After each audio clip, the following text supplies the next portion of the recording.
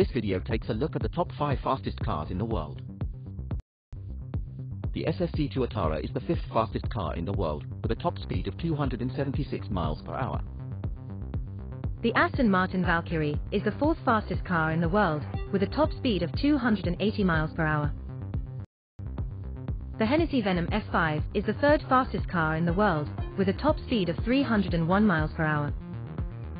The Koenigsegg Agera RS is the second fastest car in the world, with a top speed of 277.87 miles per hour. The Bugatti Chiron Supersport 300 Plus is the fastest car in the world, with a top speed of 304.77 miles per hour.